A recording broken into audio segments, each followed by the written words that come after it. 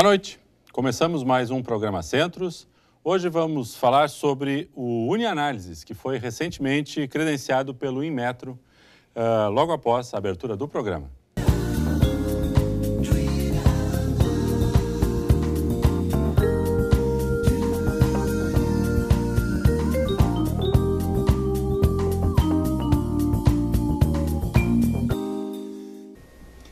Muito bem, vamos falar hoje então sobre o UniAnálises, é, toda a sua estrutura, toda a sua caminhada, seus serviços ofertados e agora também, recentemente, credenciado pelo Inmetro e a consequência disso aqui para a nossa região, para a Univates para as empresas locais, para os nossos produtos. Para abordar esse tema, temos conosco o Jefferson Bottoni, que é o gerente do UniAnálises, obrigado pela presença, a Cláudia Greff, que é responsável técnica pelo Laboratório de Microbiologia, isto, obrigado também, e também a Júlia Tischer, responsável então técnica pelo Laboratório do Leite e Nutrição Animal, e a Tainá Drebes, que é responsável técnica pelo Laboratório de Microbiologia. Ok, vamos lá. Esse é um tema importante para a nossa região, né? tem um foco fundamental aí para a nossa questão econômica, mas vamos tentar uh, dar uma esmiuçada no histórico um pouquinho, na, nas funções, nas atividades. O Jefferson acho que está nessa caminhada aí no, em análise desde o início, né, Jefferson? Praticamente, então pode, é, pode nos relatar bem. Como é que foi isso? Ingressei há 17 anos, mas o Unianálise tem uma caminhada de, de então 20 anos. Uhum. É, como ingressou, iniciou a atividade com o laboratório de microbiologia, uma equipe modesta, mas uma equipe técnica muito importante, uh, muito comprometida, que iniciou essa atividade então numa sala no prédio 1 e, e culminou então com o crescimento, com a, desculpa, com a criação do Polo de Modernização Tecnológica do Vale do Taquari. Então, foi esse, essa foi uhum. a gênese do, do que existe hoje como Unianálise. Que era um programa de desenvolvimentos regionais de polos locais, com ênfase nas suas Isso. situações econômicas, É, né? cada região do estado, então, criou o seu polo, uhum. e o nosso, então, do Vale do Taquari, optou, é, a pedido das empresas, é, optou, então, por desenvolver essa atividade de laboratórios com enfoque na, na área de alimentos e meio ambiente. Uhum. Tá? As empresas, na época, necessitavam melhorar a qualidade do seu produto, melhorar certo. já os autocontroles. Haviam muitas empresas exportadoras ah, uhum. de proteína de carne, né, proteína Sim. animal, e já sentiam essa necessidade, já, já, já percebiam não vou dizer barreiras sanitárias, mas já percebiam que o mercado externo... Desafios, né? Era desafios, era uhum. um pouco mais exigente na certo. época. Então, houve um, um, uma união de esforços e interesses, no uhum. caso, a universidade apoiando Sim. esse setor produtivo, que é muito importante certo. até hoje. E nós também tínhamos alguns cursos ligados a essa área e outros por, por se instalarem, né? Então, Sim. havia... Ok, esse foi o início.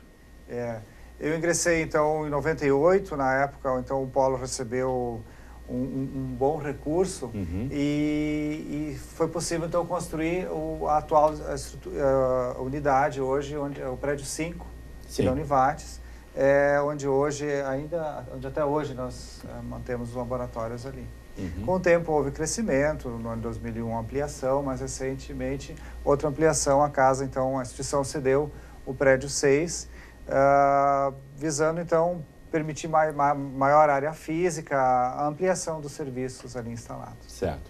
E daquele primeiro laboratório, surgiram, como é que foi? Como é que foi o, o processo de instalação de novas unidades? É, surgiram, hoje são quatro laboratórios. Certo. Foi uma caminhada é, rápida, inclusive. No ano de, de 98 surgiu o laboratório de Físico-Química.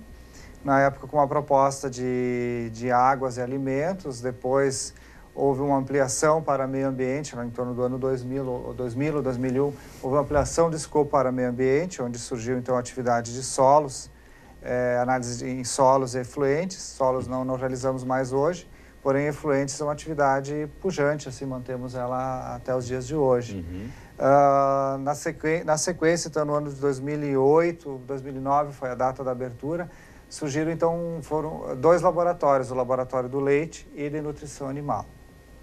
A estratégia, então, uh, do UniAnálises foi uh, laboratório de microbiologia e físico-química continuaram atendendo as demandas da indústria de alimentos, entenda-se carne, leite, ovos, Sim. mel, e os demais alimentos, não os de origem, os de origem vegetal, uh, doces, uh, os, uh, massas, farináceos. E o Laboratório do Leite, então, surgiu como um, um, um apoio a um programa nacional que visava melhorar a qualidade do leite como matéria-prima, o leite que vem do tambo do produtor e abastece a agroindústria. Então, existia um, no ano de 2000 foi, foi instituída a sua normativa 51, uhum. que estabelecia padrões de qualidade para esse, e, e, para esse leite que abastecia as agroindústrias. O leite matéria-prima, também chamado leite cru. Uh, e a casa, observando isso, criou também, em conjunto, o Laboratório de Nutrição Animal. Qual é a estratégia, então? Microbiologia e Físico-Química atendem a indústria, é, vamos entender se consegue produzir o controle do, do alimento, do produto acabado. O leite já, então já desce um, um degrau, uhum. abastece, a, realiza controle de qualidade de matéria-prima e toda, toda a cadeia produtiva de, dos produtos de origem animal acaba utilizando a nutrição animal como certo. suporte né, para essa, essa base, para essa produção. Ótimo. Quer dizer, a gente aí não só fecha uh, horizontalmente uh, as necessidades, mas também verticalmente, verticalmente aí conseguimos atender esse Perfeito. Escopo. Cláudia, um pouquinho, tu, tu, tu atuas então no, no, laboratório de microbiologia, que tem uma história então um pouco mais antiga, né? A Tainá. É. Ah, perdão, Tainá. Tainá. Microbiologia. Físico-química. A, a Cláudia é laboratório de físico-química, per, perdão. E a Tainá, então, microbiologia. Então vamos começar com a Tainá, microbiologia. Um pouquinho, o laboratório tem uma, uma vida um pouco mais, mais longa. O que é que se faz propriamente dito lá e como é, como é que se deu essa caminhada? Bom, eu entrei no laboratório em 2007, né? então até lá uhum, já era um bastante tempo percorrido por outras pessoas que estavam ali claro. atuando. Né? Então, a partir de 2007, eu ingressei ali como analista e fui crescendo até assumir a, a responsabilidade uhum. técnica. Então, no laboratório de microbiologia de alimentos, a gente faz análise tanto em alimentos quanto em água, ingredientes e produtos acabados. Né? O que, que a gente procura? Cada matriz alimentar, cada ingrediente tem um regulamento, né? E um regulamento técnico, e lá prevê quanto de contaminação que aquele alimento pode ter. Então, o que, a gente pesquisa? Bactérias ou grupo de bactérias que podem ser patogênicas, que podem certo. causar mal para a saúde do consumidor. Uhum. Então, conforme cada regulamento específico, a cada matriz, a gente pesquisa aquelas bactérias alvo para verificar a presença delas e em que quantidade para poder então liberar ou condenar lotes, por exemplo, dentro da indústria. Certo. E isso, essa demanda, ela vem das indústrias, das empresas da região, por uma questão, como Jefferson colocou, de interesse que elas tenham um controle de qualidade até para fins de ampliar mercado de, de comercial, é isso, Isso, né? para fins de exportação, comércio, comércio interno e exportação Quer também. Dizer, qualquer empresa pode chegar aqui e atuando nesse segmento, entrar em contato com vocês e definir lotes, padrão, o, toda a sua rotina de controle da, da, produção. Isso aí, todas as indústrias, agroindústrias, pequenas empresas, pessoas físicas que querem fazer um controle de qualidade uhum. da água da sua casa. Certo, né? também há Então essa é esse uh, grupo bem amplo sim, de, de clientes. Uhum. Isso requer uma certa logística aí de como é, que, como é que essas amostras chegam aqui? Vocês coletam, a empresa traz, alguém? Como é que funciona isso na prática? Existem algumas empresas que encaminham para a gente, que trazem mesmo, outras que encaminham através de transportadoras. Certo. A gente também oferece o serviço de fazer as coletas, né? Então, uhum. Então, para controle de qualidade, a gente tem ah, um pessoal especializado que vai na empresa fazer coleta né? Ou se não, se é uma amostra, por exemplo, de inspeção federal, é o fiscal lá dentro da indústria que coleta e nos encaminha, né? Vai depender do tipo de cliente certo. que está solicitando o serviço, mas a gente uhum. oferece sim serviços de coleta também. Porque o processo de coleta também requer um certo cuidado, sim. um certo acompanhamento para não não interferir na, na análise, né? Sim, Quer dizer, se, se, eventualmente o, a, o interessado não tiver conhecimento, não tiver um responsável técnico, aí vocês já executam isso. Isso. Perfeito, ok.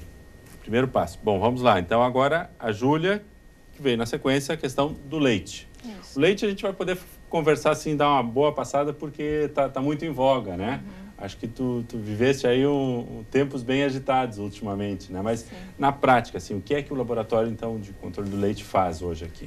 É, o laboratório do leite, é, do, Unianálises, ele atende a parte de leite cru. Né? Na verdade, nós trabalhamos em conjunto com a Fisicoquímica, certo. que atende toda a parte de fraudes, identificação de fraudes no leite uhum. e também a parte fisicoquímica seguindo o método tradicional de análise. Né? Então, a fisicoquímica atenderia também leite cru, mas uh, principalmente foco no leite acabado. Certo. Né? E o leite, o laboratório do leite, ele faz análise em leite cru, porque as indústrias têm a obrigação de fazer análise de, de cada produtor que fornece leite. Né? Então, uhum. existe uma legislação, que é a Instrução Normativa 62 de 2011, a antiga, antigamente era chamada de Instrução Normativa 51, 51 é uhum. bastante conhecida né, por, por essa legislação. E uh, realmente ela estabelece essa obrigatoriedade de cada indústria fazer análise de 100% dos seus produtores de leite. Uhum. Né? Então, esse laboratório é um pouco diferente porque ele trabalha com análise instrumental. Né? Então, não é aquela análise química de bancada que a gente costuma ver no laboratório de, de química. A análise instrumental ela permite aumentar a capacidade analítica, né? Então uhum. a gente uhum. tem equipamentos que fazem 200 amostras por hora, por exemplo. Certo. Então é, é um o volume... foco é um volume grande. Hoje a gente está atendendo em torno de 20 mil amostras por mês. Uhum. E tem esse privilégio de estar estabelecido numa região com grande produção de leite, né? Então Sim. isso é, faz com que o laboratório isso é bom, consiga... Isso é, é, é, bom, mas de... dá uma certa responsabilidade Sim, de também nem certeza. sempre, nem sempre obrigatoriamente vocês têm só notícias boas, né? É, é porque a gente, a, a, além de fazer essas, essas análises obrigatórias, a gente faz outras, né? Os equipamentos conseguem uhum. quantificar outros uh, analitos como por exemplo a ureia, que uhum. não é obrigatória Sim. pela instrução normativa, mas uh, nós fazíamos para atender um requisito, para fazer uma avaliação nutricional uhum. do leite e acabou então sendo Detectando. detectado como fraude. Ok, vamos, a gente pode detalhar um pouquinho. Okay. Estamos terminando o primeiro bloco. Na volta, converso com a Cláudia sobre a área físico-química, então um pouquinho da, da, da, tua atuação e do laboratório em si. Tá? Já voltamos após o intervalo.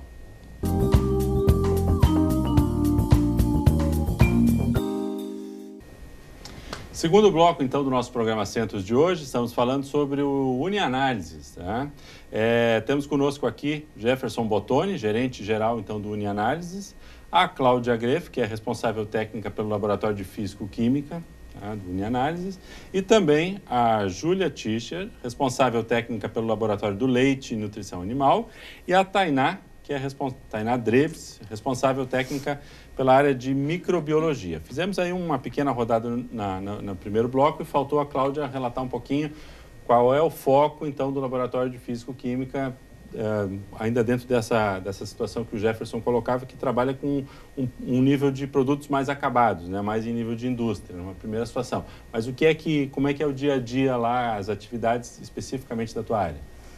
Sim, então a fisicoquímica ela trabalha também dentro da, da ideia do que a Tainá comentou da microbiologia, que todos os alimentos têm um regulamento técnico específico que relata, apresenta parâmetros que o produto tem que atender. Uhum. Né? Então, tanto produtos de origem, a, a, derivados carnes, lácteos, ovos, pescados e mel, eles têm o seu regulamento técnico. Então, nós trabalhamos visando isso, principalmente. E a fisicoquímica também tem um outro alvo que é atende mais a vigilância sanitária, que é a questão da rotulagem nutricional. Né? Então também ah, envolve, atende essa área. Uhum. A gente trabalha, além dos alimentos, também com águas, seja de abastecimento industrial, gelo e a, a própria água para consumo humano. Certo. E a área ambiental que o Jefferson comentou antes, que nós trabalhamos ainda com efluentes. Uhum. Né? Então, uh, a parte de coletas nós não realizamos no, na parte de alimentos, exceto então efluentes, sim. O uhum. laboratório uhum. tem uma estrutura que atende a demanda do cliente quando precisar. E o restante então das amostras nós recebemos da mesma forma, ou por transportadora, ou o cliente entrega no próprio laboratório. Certo. Dentro da estrutura, eu acho que é o laboratório de maior porte em termos de de área que atende, número de pessoas trabalhando. Uhum. Então, nossa área também atende a área de leites, como a Júlia comentou antes. Mas a gente trabalha com análise química, né, composição, atende também a área de fraudes.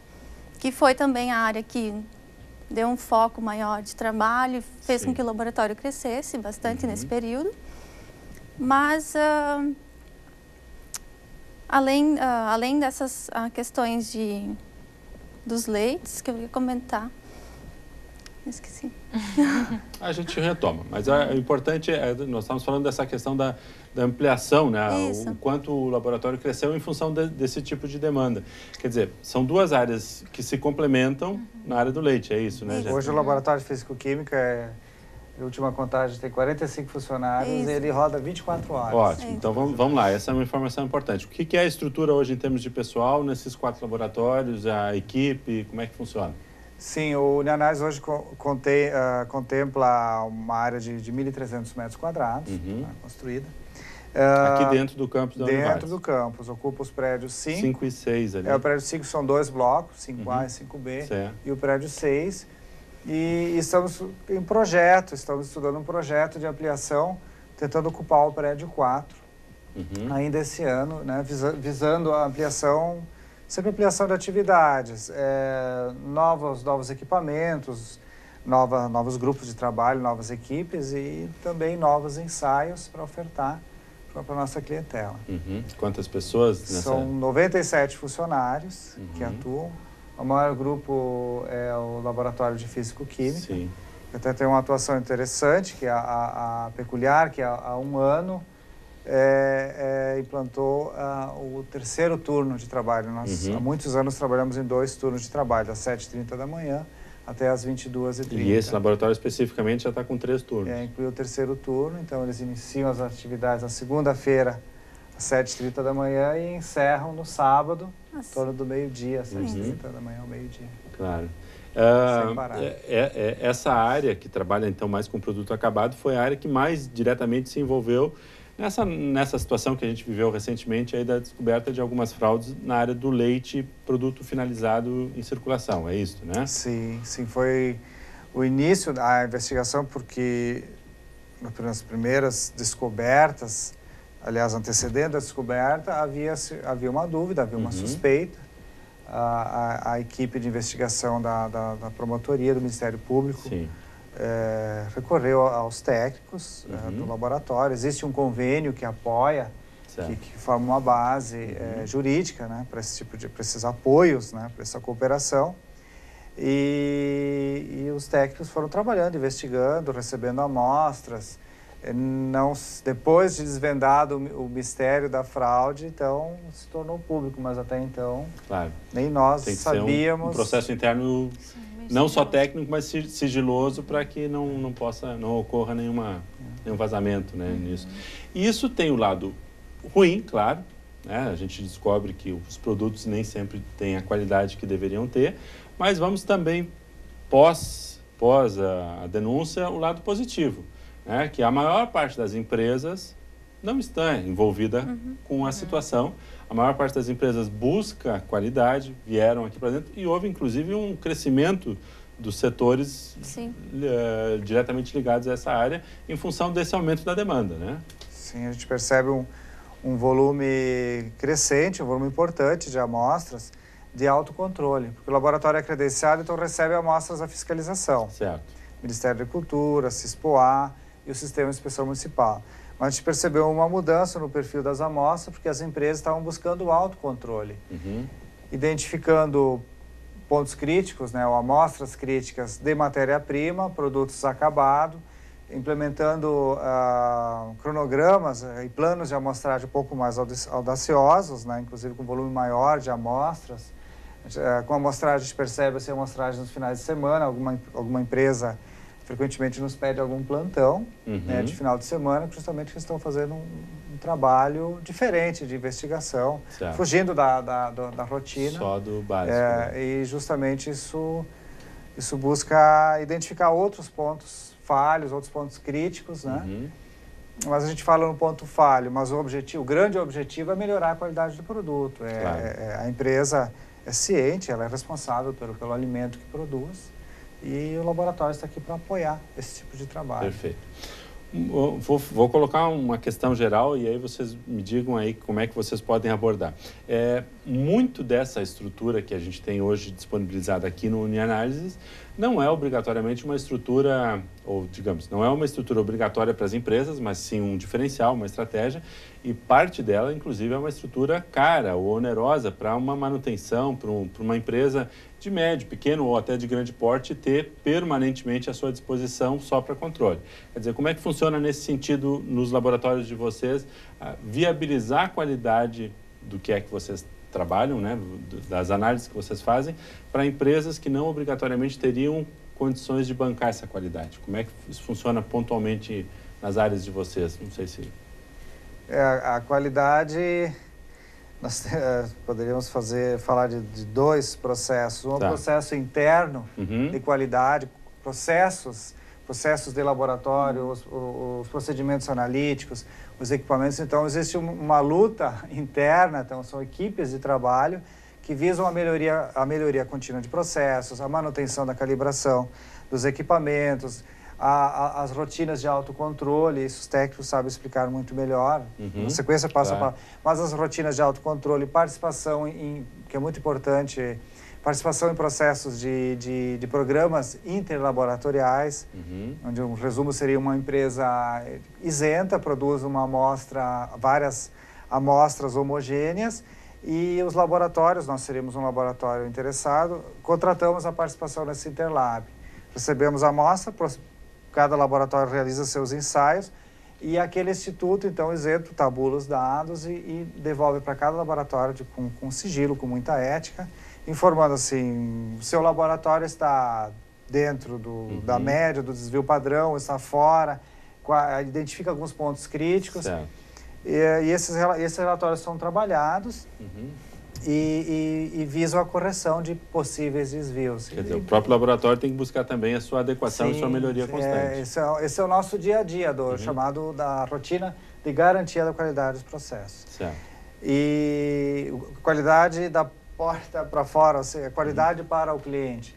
Então a gente oferece esses, esses trabalhos, esses serviços com, com, com, muitos autocontroles, com qualidade. Pelo menos lembrando que a Tainá adquire cepas, muitas cepas são importadas, uhum. é, é, tem validade restrita, ocorre a manutenção a cada. Os outros laboratórios também fazem isso, mas a cada batelada ela roda um CIP, né, que seria um controle interno de processo. Então, além da, das amostras do cliente, ela roda uma amostra, ela passa uma amostra de autocontrole com uma cepa que ela já domina, porque ela conhece a origem. Então, e os laboratórios têm, têm muitos sim. trabalhos dessa. Tainá, por favor, faça a tradução aí para que o nosso telespectador e o, e o, e o modesto apresentador entenda também a tradução da cepa aí, por favor. A cepa a gente chama é um microorganismo, uhum. né, da forma pura, vamos dizer, que eu compro lá, que tem um certificado que me garante que é salmonella enteritidis, ah, número tal. Que é, é um padrão de comparação. Isso, né? é um padrão de comparação. Então, a gente faz a compra desses microorganismos de uhum. referência uhum. com essa certificação. Né? Então, visando também em metro, hoje em dia elas são certificadas, também são compradas a cada ano, uhum. né, de organismos que podem fazer esse tipo de comercialização. Perfeito, entendido. Muito obrigado. E, bom, Importante a gente fazer esse fecho dessa ideia de que muito da qualidade do que se produz hoje nas indústrias, na, na questão da matéria-prima, né, está diretamente vinculado com esses níveis de controle que vocês conseguem oferecer dentro do Unianálise. Isso está correto, né? Correto, ser. Quer dizer, a qualidade do Vale Taquari passa muito por aí. E, uhum. e, e a clientela é, é, eminentemente Vale Taquari ou a gente já está num, num, numa região um pouco mais ampla? Como é que estão, não obrigatoriamente nominando, mas uhum. quem são os nossos clientes hoje? Nossos clientes são, então, as agroindústrias, né, produtoras de alimentos, uh, considerando também prefeituras, profissionais liberais, mas um volume, maior volume, 90% dos nossos clientes são agroindústrias, né, uhum. produzem alimentos. É, a distribuição delas não é só mais Vale Taquari, já há muito tempo nós atendíamos uh, uma atuação forte em todo o estado, mas hoje a gente já percebe e também temos trabalhos de divulgação nos três estados do Sul. Certo. Então, temos uma atuação forte. Por uh, especialidades, por trabalhos uh, diferenciados, serviços diferenciados que o laboratório, que os laboratórios realizam, recebemos algumas amostras de São Paulo, algumas amostras também do Nordeste, do uhum. Norte do país. Mas é claro que o volume é bem menor, porque claro. existe todo um esforço logístico, né? Uhum. um custo uhum. de logística, de transporte das amostras por parte do cliente. Mas são, são ramos interessantes. Já, de, já abrindo novos campos de atuação. Perfeito. Ok, fechamos o nosso segundo bloco, já voltamos. Na sequência, a gente vai falar um pouquinho sobre essa questão da certificação, a importância então dessa certificação e as consequências disso para todas as nossas áreas. Já voltamos após o intervalo.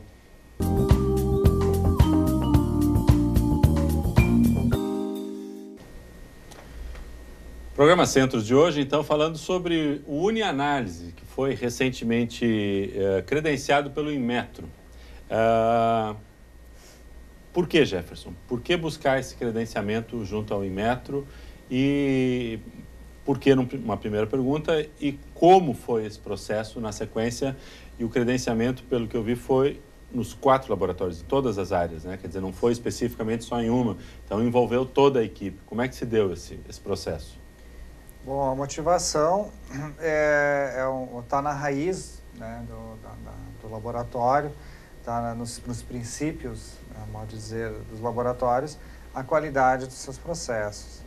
A qualidade, que nós estávamos falando no bloco anterior, a qualidade interna de processo, uhum. intramuros, e vender serviços de qualidade para o cliente. Laboratório, então, presta serviços, então, não é que vende resultados, mas realiza o serviço e devolve, o cliente envia a amostra e devolve o resultado para o cliente. Então, espera-se do, do laboratório a competência, uhum. competência técnica, confiabilidade dos resultados. Então, a, a, uma caminhada já antiga do laboratório buscar por certificações. No início, no ano 2001, 2002, era ISO 9000. E já no ano de 2005 foi publicada a segunda edição da ISO 17025. E ela é específica para laboratórios e o título, se for verificar o título dela, é competência técnica de laboratórios. Certo. Requisitos técnicos, né? Para competências de laboratórios. E ao observar isso, após uma, uma, análise inicial, a instituição então optou por, pelo desligamento da ISO 9000 e trabalhar em, em prol da 17025. Uhum. Nesse, nessa caminhada então de, de, de, de 10 anos, uh, dessa, decisão até a, a acreditação, vários órgãos adotaram a, essa norma, o Ministério da Agricultura também a, a, utiliza uhum. os mesmos requisitos, a rede metrológica, a qual nós temos reconhecimento. Dizer, esse, esse, processo de acreditação e de credenciamento junto ao Inmetro tem como pano de fundo essa normativa. Isso, 17025. Uhum. E, então houve toda uma caminhada de acreditação, de credenciamentos e de reconhecimento de uhum. competência técnica, mas no Brasil o órgão máximo, aliás, o único órgão que tem a, a chancela, a outorga do governo para, para acreditar laboratórios perante essa norma é o Inmetro. Inmetro. Então, há dois anos, foi pro, reunimos toda a documentação. Claro que houve um estudo prévio, acredito que pelo menos dois anos antes, há quatro anos, então, estávamos estudando ah, com detalhamento esse Sim. processo. Então, há dois anos, ah, entre, ah, protocolamos um pedido com todos os documentos necessários. Então, uma curiosidade, foi um SEDEX de 10 quilos, papel de documentos uh, para o Inmetro, porque o escopo era muito amplo, sim, muito amplo. havia muitos ensaios, muitos laboratórios envolvidos. E esse processo... O, o, peso da prova era de 10 quilos é, naquele momento. Uma, né? uma caixa desse tamanho, um SEDEX é. gigante, uma curiosidade. É, assim, do, é, eu do, fico imaginando processo. que talvez seja, teria sido mais barato ir lá entregar o, a documentação do que pagar o SEDEX. Mas... não, foi um, é. não foi uma reclamação da nossa auditora líder, mas é. ela comentou, mas é tão amplo assim o escopo de vocês? São, é, uhum. Sim, é um laboratório muito grande, é amplo. Não é comum. Tive que justificar uhum. Ao telefone, claro. pra, não, foi, não foi peculiar, não foi uhum. muito comum a nossa nosso processo de acreditação. E desde o início o processo já previa a acreditação de todos os serviços do Unianálise. É, em Sim. função disso, esse volume de, de material, né? Claro que há dois anos atrás nós enviamos a totalidade dos serviços. Hoje existem serviços novos uhum. que já foram lançados. Bom, vão ficar para a próxima rodada, para a próxima certo. a rodada de auditorias, uhum. é, é, a inclusão de, desses novos ensaios. Claro. Já hoje já não tão novos, mas enfim. Uhum. É um, é um procedimento, protocolo é pedido claro, e sequência, é processo e vai... Avaliação de documentos, uh, pedidos de, de, de, inclusão de documentos ou alguma, às vezes uma expressão que a gente utiliza eles redigem uma pergunta, por favor, detalhar ou uhum, explicar uhum. ou comprovar o que, né, o que o laboratório entende e eles te mandam um trecho. Então, foi um processo de dois anos. E há um ano, então, ocorreram as auditorias. Foram pelo menos duas semanas de auditoria, foram quatro campanhas de auditoria. Mas eu considero assim, uh, foram uma peculiaridade também da nossa acreditação, foram duas semanas com cinco auditores, praticamente 400 horas auditor, de horas uhum. auditor, né? Uh, acompanhados pelo menos por essa equipe técnica e muitos, ou pelo menos outros 10 técnicos né, nos bastidores. E foram semanas intensas de, de investigação e, e com, com, com, com de busca de, de evidências. É, busca, buscam evidências. Né? É, é, importante isso, um pequeno relato uhum. de vocês. Né? Como é que foi vivenciar esse momento? Porque em algum grau vocês estavam sendo é, estavam sendo questionados, né? Vocês estavam sofrendo uma avaliação externa para dizer, olha, o serviço é bom, não é? Uh, os equipamentos são bons, uh, as pessoas são competentes, uhum. o processo está bem conferido. Como é que foi vivenciar esse momento que o Jefferson faz o relato aí? É, uma avaliação da conformidade, né? Uhum. A gente já trabalha com a norma, a gente já estava acostumado com auditorias mas não tão intensa uhum. como a do Imetro, né? Certo. Porque realmente é avaliado ensaio por ensaio e tínhamos que comprovar que quem executava o ensaio eram analistas treinados, que foi avaliada a eficiência do treinamento desses analistas, que a gente usa materiais de referência que são padrões para checar o ensaio uhum. a cada lote de amostras, né? que a gente participa de programas de proficiência. Realmente uh, confirmar que aquele desempenho do ensaio Sim. é satisfatório. Uhum. Né? Então, foi é, é, bem... No detalhe. É, bem no detalhe. Assim, certo. É. Vocês também confirmam por aí também? Sim, é, acho que é bem como a Júlia comentou, né? Foi um processo assim, bastante exaustivo porque a gente esmiuçava até a última, a última necessidade, né? uhum. né? Então procura aqui, busca registro, resgata relatórios, explica como faz, explica validações de métodos, aprende também muita coisa, né? Acaba Sim. no meio desse processo se adequando a outras necessidades e mudando ali um procedimento ou né, um jeito de pensar, de fazer as coisas, uhum. mas assim, tanto foi nos exigido, mas também a gente aprendeu muito com isso, né? Mas como o Jefferson comentou, foram muitas horas de auditoria, né? É uma coisa que a gente realmente não estava acostumado com os que a gente já recebia no laboratório. Né? Perfeito. Importante essa ideia que a Tainá tra traz, que obviamente que uma conformidade, é, um controle do processo pressupõe que tu já faz a coisa muito bem. Tu só tem que mostrar que tu uhum. faz. Tu não tem que aprender a fazer para mostrar, mas uhum. tu aprendeu antes e só vai mostrar. Ao mesmo tempo existe a melhoria constante, uhum. né? Porque vocês trabalham com áreas que a toda hora surgem novidades, novos processos, novos controles.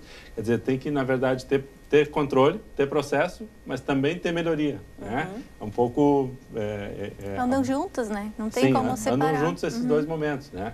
E aí mostrar isso... Quer dizer, a auditoria é o momento de mostrar aquilo que já, já se já consolidou, se né? Isso. isso é importante é, é, ficar bem, bem claro que a, a qualidade do que é feito não foi para a auditoria, mas a anterior. Uhum. Né? Então, muito bem. Feita, passada a auditoria, essas 400 horas, quer dizer, aí uma carga intensa e, e depois vai para a expectativa da resposta. Como é que funciona isso? Depois tramita o processo. Né? Tem uhum. pra, o laboratório sempre fica com prazos para dar retornos, porque eles deixam é, não, uh, muitas perguntas, né? Como diz, tem uma máxima que diz que não são as respostas que movem o mundo, mas sim os questionamentos, as perguntas. E ficam uh, algumas lacunas a ser respondidas, a ser preenchidas, porque uhum auditoria, as auditorias, os audit, é, apesar de ser intensa, ela, ela, ela, ela deixa esses temas de casa, ou as uhum. evidências, para, para retorno do laboratório, é, para retorno do relatório uhum. de, de conformidade de processo. Então, uh, nesses períodos pós-auditoria também foram intensos, com o pessoal buscando soluções, buscando ideias ou, uhum. ou, ou implementando melhorias, porque o, um exemplo de, de, questionamento que fica. Olha, o laboratório participa de físico-química, por exemplo, participa de ensaios na, de físico-química de, físico de alimentos de dois institutos diferentes. Nunca pensou em participar do Instituto Internacional? Ah, não tem obrigação, mas hoje está nos nossos planos certo. trabalhar. Então, uhum.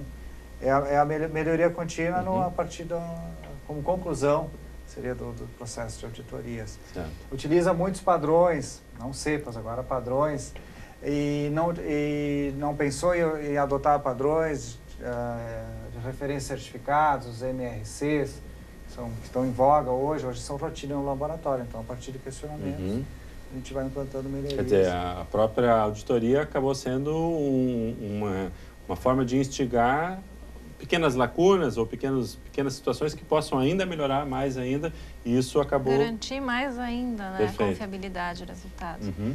É, nós tínhamos controles, mas tem outros que, apesar de não serem obrigatórios, dão uma garantia para o uhum, nosso processo. Uhum. Né? Então, o que mais dá para fazer? É. é. Como diminuir a incerteza de medição? Né? Esse é um ponto Sim. que hoje ah, se trabalha muito, se questiona muito, e o laboratório tem que estar sempre pronto para responder. Ah, o resultado foi 12% de proteína, mas com qual incerteza? Com qual certo. confiabilidade? Uhum. Com, né, qual, qual, a margem de erro desse resultado? Certo. Então, esse é um foco de trabalho intenso e rotineiro que a gente está sempre buscando uhum. trabalhar quanto menor, melhor.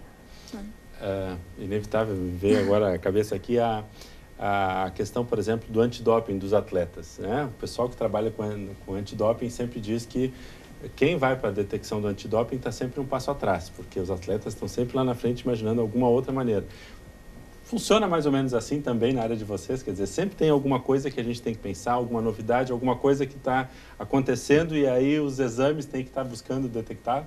Funciona também assim ou, ou é uma comparação que não dá para se fazer? É um Os limites de detecção, Isso, às vezes, é. né? Uh, uhum. A gente tem um determinado equipamento, mas a legislação fica mais restritiva, então a gente já tem que buscar outro método certo. mais sensível.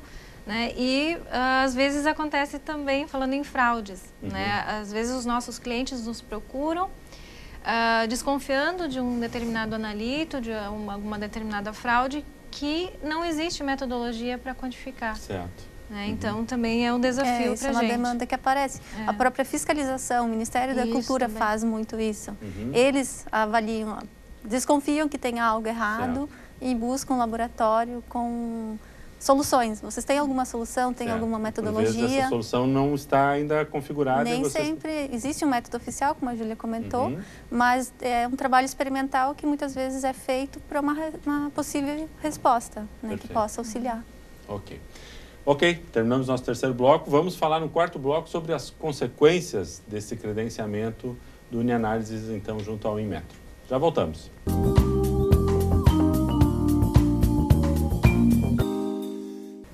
Programa Centros de hoje, então, falando sobre o Unianálise e o seu processo de credenciamento pelo Inmetro. O Jefferson nos contava um pouquinho de como é que foi todo esse desafio, né? Uh, as perguntas que ficaram, né? as melhorias que foram in, in, incrementadas e como é que fechou, então, esse processo de credenciamento.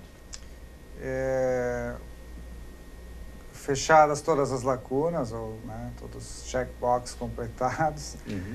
Uh o processo passou por três revisões lá no Instituto, no Inmetro mesmo, no Rio de Janeiro. Cada revisão uh, fazer um questionamento, porque são pessoas de uma, de uma forma bem isenta que eles avaliam uh, os laboratórios. Então, o nosso processo foi avaliado por três pessoas que não nos conheciam. Uhum. Com muita competência, a gente percebia pelas, pelos questionamentos, pelas perguntas eles faziam. Então, todas as perguntas respondidas. O processo, então, passou por um comitê, agora no, no mês de março, e culminou então, no mês de abril, com a publicação da acreditação. Então, o uhum. laboratório uhum. foi acreditado, recebemos um selo, uma documentação da acreditação, é, divulgamos, enfim, para os clientes, está tá disponível no site do uhum. Quem, quem quiser conhecer nosso escopo. Colocamos um link né, uhum. do nosso site para o site do Inmetro e, assim, o laboratório hoje é, é acreditado pelo Inmetro. Legal, ok. Qual a consequência disso agora? Para o Unianálise e qual a consequência disso para quem faz as suas avaliações dentro do Unianálise?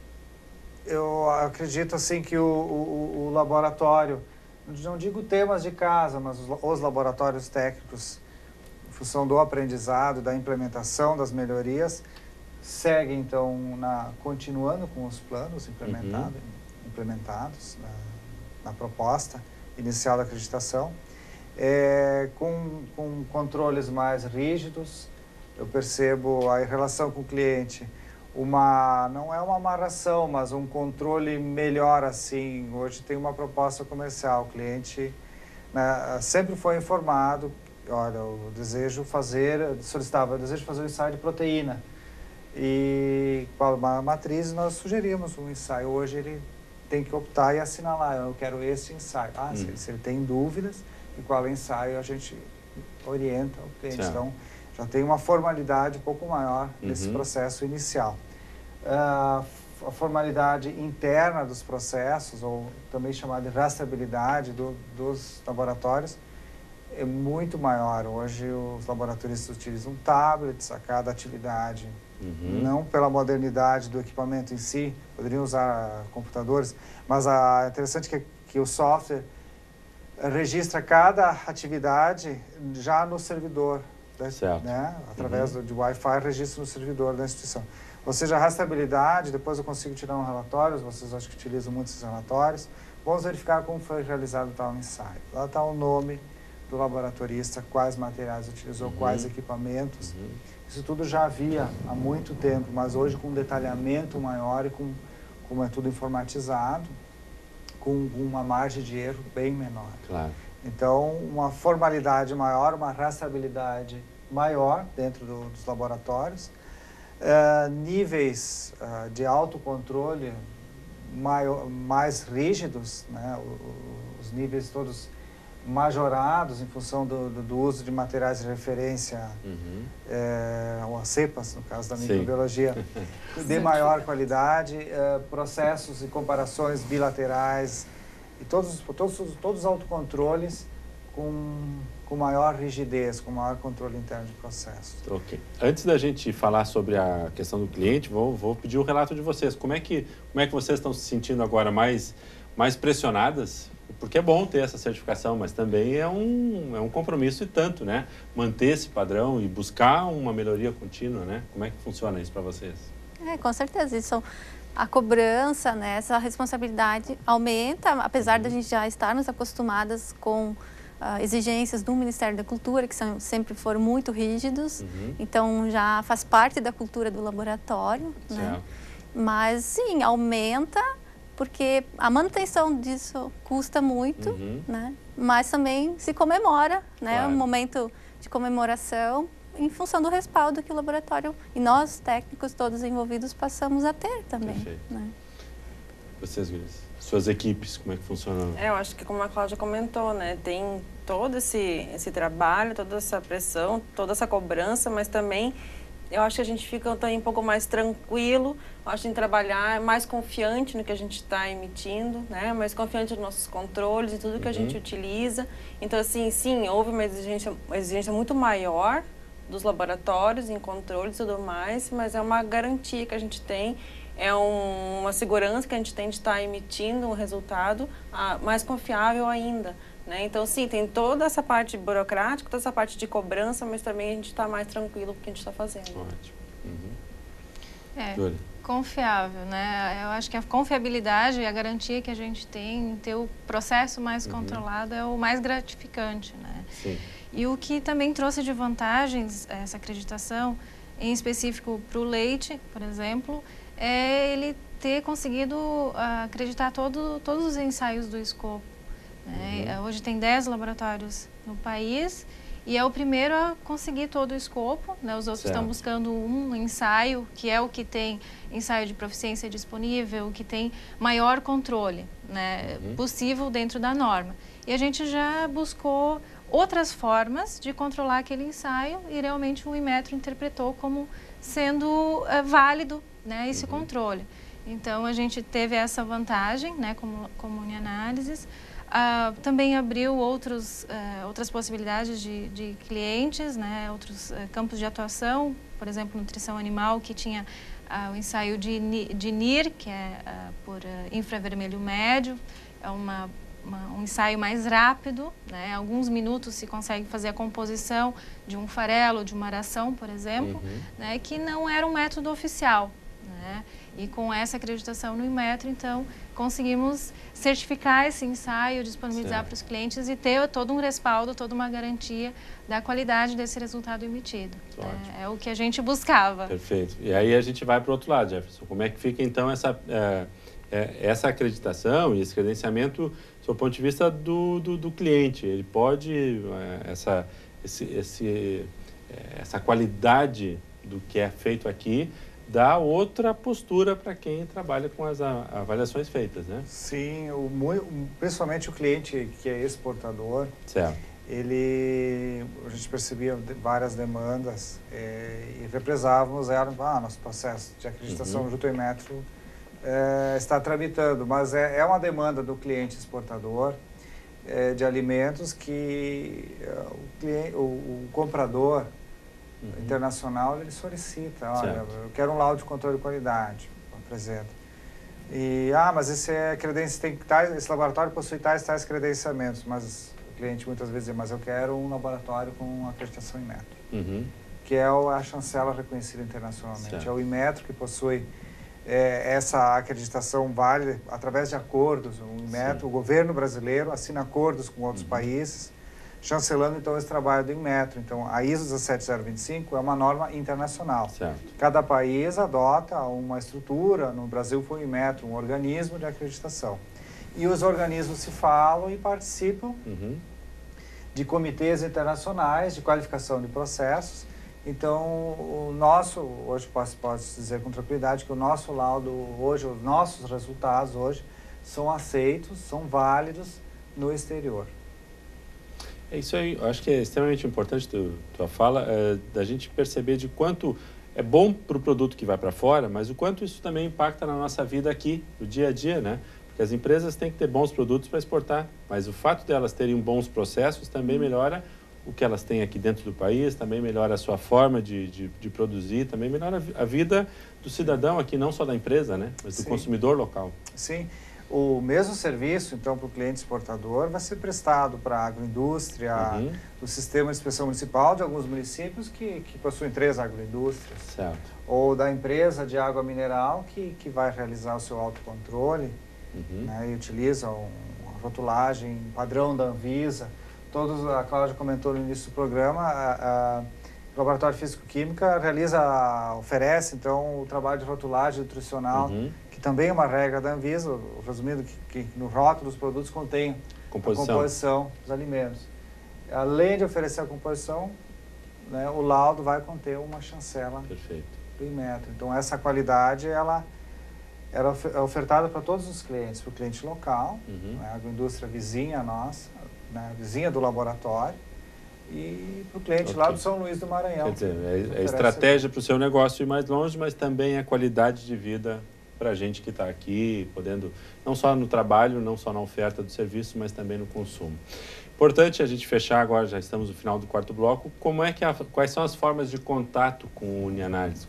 Quem está nos assistindo, olha, gostaria de fazer uma análise lá da minha água, gostaria de ter uma autoanálise de algum processo que as gurias comentaram aqui, tanto da microbiologia quanto de, de, de leite. Como é, que, como é que é essa forma de acessar o Unianálise e encaminhar uma relação? É. Para o primeiro contato, a gente recomenda um, um contato pessoal, uhum. vir até o laboratório, porque a gente ministra a, a informação, a gente repassa informações de coleta de amostras, além dos tradicionais preços, metodologia, uhum. limite de, de, quantificação, tenta ajudar o cliente a identificar assim, qual a. Muitos já têm um, um checklist, qual a necessidade, mas outros não. Ah, eu tenho tal uhum. alimento, gostaria de fazer um autocontrole, um controle certo. de qualidade. A gente faz essa orientação, compara uhum. com legislações. Então dá, dá uma, uma assessoria, um apoio Perfeito. inicial ao cliente. Uhum. Uh, repassa informações de coleta de amostra, oferece frascos, frascos adequados, uh, frascos de coleta e uhum. instruções de coleta. Uh, isso adequado seria vir até o prédio 5, aqui na, na Univates, uhum. o horário de, atendimento 7h30 da manhã até às 10 da noite. A recepção, horário de atendimento à recepção. Também colocamos o nosso site à disposição, muitos querem contato inicial por, uhum. por, por, e-mail, tem o Fale Conosco, né? que é o www.unianalises.com.br. Tá. Uhum. O telefone de contato é 37, 51 3714 7027. Perfeito. Quer dizer, Também entrando em contato eventualmente com a Univates, com as telefonistas aqui, com o e-mail geral da Univates, a gente consegue encaminhar vocês. Eu só posso uh, dizer para vocês parabéns, parabéns pela, pela vitória, né? Pelo, pelo, por esse marco importante e tenho certeza que nesse caso o parabéns é o desafio de, que mais virá por aí, né? Uhum. Porque uma vez vencido um desafio, quais são os próximos, né? Tenho certeza que teremos sempre boas notícias aí, bons produtos, bons serviços e cada vez mais qualidade de vida no Vale do Taquari. Esse, esse é o objetivo, acho que não só do Unianálise, mas da Univates como um todo. Né? Então, muito obrigado, agradeço a presença de vocês aqui. Futuras situações ou futuras uh, validações e acreditações a gente vai estar divulgando aqui na TV Univates. E esse é mais um serviço, então, ofertado a você aqui no Vale do Taquari. O programa Centros encerra por aqui. Agradecemos a sua presença. O programa, então, é nas quintas-feiras à noite, com um horário alternativo no sábado. E na próxima semana voltamos com um novo tema para você aqui na TV Univates. Boa noite.